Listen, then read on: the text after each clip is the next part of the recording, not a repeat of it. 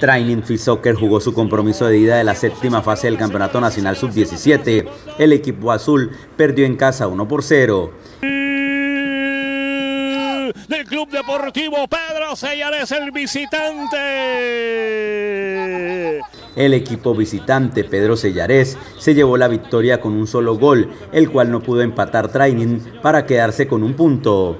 Bueno, fue un partido muy apretado, eh, donde la verdad se, se vio mucho el pelotazo, casi no se podía coger el balón. Fue un partido que estuvo muy bueno, pero gracias a Dios nos llevamos victoria a casa y allá queremos salir adelante y llevarnos también la victoria para seguir continuando en el torneo nacional. Trainen intentó por todos lados el empate, pero cuando no fue el arquero de Pedro Sellares que cortó el grito de gol, fue la mala definición que no dejaron celebrar al equipo de Barranca Bermeja. El equipo que todos somos muy unidos, todos nos respaldamos, eh, todos queremos siempre ganar. Eh, a pesar del partido, sea lo que sea, sea pelota, sea jugar, tenemos, podemos hacer lo que sea. Ahora se preparan para el próximo jueves a mitad de semana en el Valle del Cauca, donde Training Fit espera darle vuelta al marcador y clasificarse a las semifinales de la categoría sub-17.